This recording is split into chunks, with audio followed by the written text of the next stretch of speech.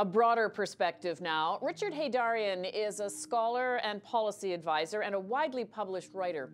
His most recent book is called Duterte A Populist Revolt Against Elite Democracy. We reached him in Perth, Australia. First, help me understand why Duterte is so popular. Well, first of all, we have to put that within historical context. Almost all Filipino presidents uh, in recent surveys, with the exception of President Arroyo, uh, who won a very controversial uh, election back in 2004, have had relatively high approval ratings. Uh, so we, I mean, they say in tropical countries we have long honeymoons. Uh, the same thing applies to our politics. So actually, if you look at numbers of Duterte right now, they're not too far from the numbers that former presidents Ramos and the two Aquinos had in the past 30 years. That's one thing. On the other hand, I think uh, President Duterte is also appreciated by the public for his decisiveness. There is this kind of cult of action uh, in Philippine political culture whereby sometimes people are not really looking at the results or outcomes of what presidents or leaders do. They more look at the decisiveness or willingness of a leader to actually deal with a specific problem. And I think lastly, uh, President Duterte also taps into this new zeitgeist of autocratic nostalgia. If you look at Pew Research Survey, if you look at World's Values Survey, a majority of Filipinos are now looking for a strongman leader uh, who will deal with complex problems in the society. They feel that the democratic institutions are incapable of doing that, and Duterte very effectively appeals to that kind of yearning for a strong, decisive single-minded leaders. You've described him as a, a man of the masses, and you talk about that sort of single-mindedness that he has. You also say he's, in effect, trying to create what I think what you described as an imperial presidency. Is there any contradiction in those two ideas? Well, actually, I describe President Duterte as a hybrid populist. Of course, he's increasingly more right-wing because he emphasizes law and order rather than left wing when he course when he was still new in power he brought in some former communist leaders tried to push for social justice and progressive reform. But now he's more on the law and order area he's more on the concentration of power area but he's really hybrid in a sense that he appeals to different sections of society for different reasons. Uh, the masses like him precisely because you know he presents himself as some sort of a outside the box candidate as someone who doesn't belong to the imperial Manila elite. You know, of course, he has his own political dynasty in Davao, but he's not part of the mainstream elite of the Philippines, uh, at least those in Metro Manila. But his actually greatest appeal is among the aspirational and upper middle classes in the Philippines. And that's where penal populism comes in the picture, whereby what Duterte says is that, well, maybe there could be some extrajudicial uh, measures here. Maybe we may have to work around certain democratic institutions or circumvent them.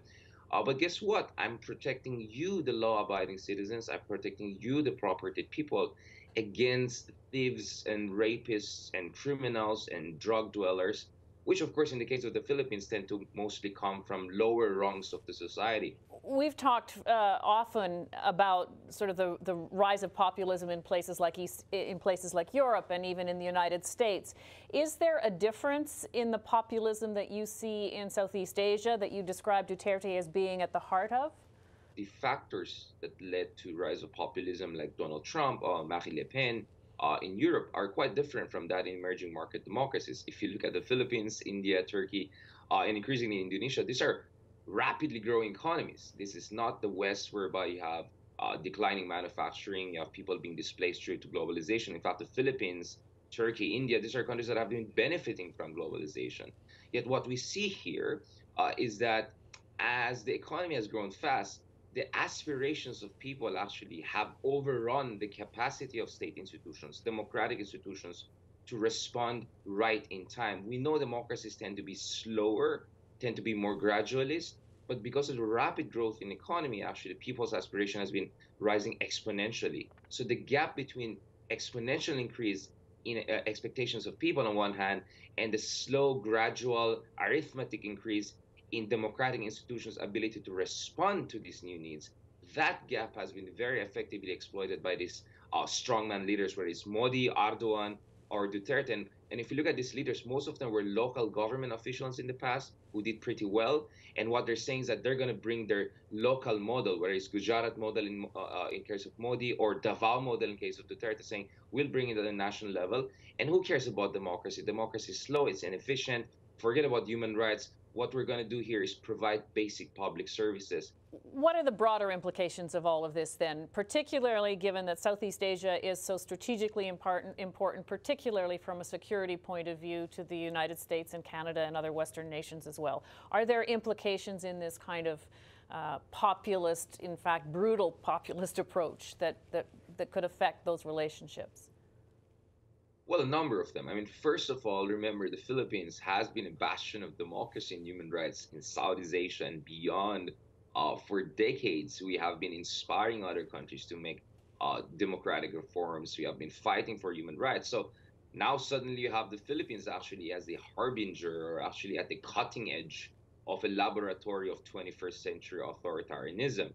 Uh, this is what we see in the case of the Philippines, for instance. And when the Philippines was the chairman of the Association of Southeast Asian Nations, uh, President Duterte, in a way, actually promoted his own way of approaching problems like drugs and criminality and terrorism. So there was a Duterte effect across the region. More broadly, there's a geopolitical impact because what President Duterte is doing, in my opinion, is bringing back that old debate on Asian values. He's saying that uh, human rights, democracy, these are imposed values from the West that are not universal. He has been openly attacking the West for its supposed hypocrisy.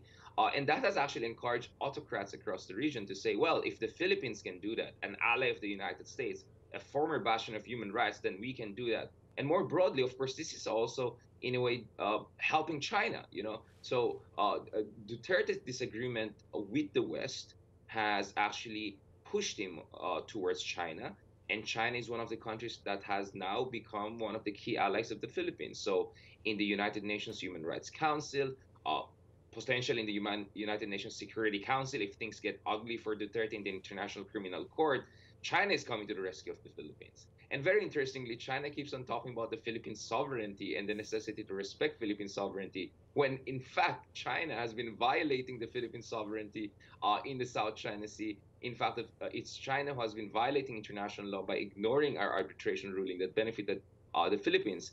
And now, of course, Duterte, in exchange for China's support on human rights and democracy issues uh, against the pushback from the West, seems to be also compromising uh, in terms of the Philippines' stance in the South China Sea. And that's also like um, encouraging China to also expand its footprint in the area. Just the other day, the ruling uh, party in the Philippines, PDP Laban, where Duterte comes from, uh, ha- had a celebration whereby they were next to uh, next to Chinese officials. So you have the Communist Party of China right now having some sort of an alliance with the ruling uh, part of the Philippines, which is extremely mind-boggling, uh, despite all the roller coaster we have been going through since Duterte coming to power. And we don't know where this is going, but the signs are not very good for Philippine democracy. Richard Heydarian, thank you very much for your insight on all of this and putting it into uh, context. My pleasure.